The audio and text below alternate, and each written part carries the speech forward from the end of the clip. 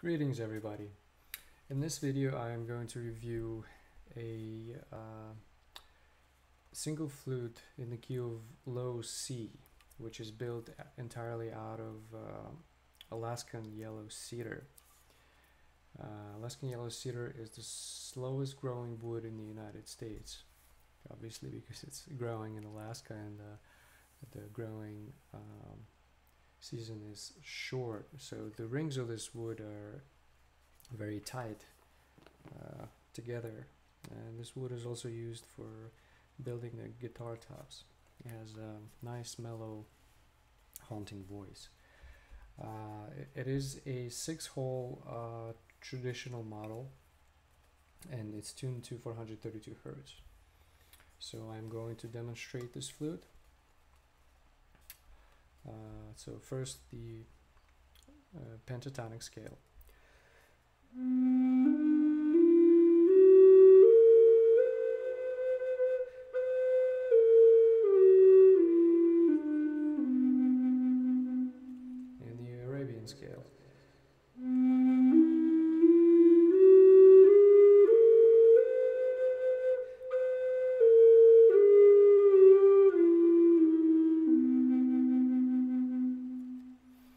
going to improvise a little bit.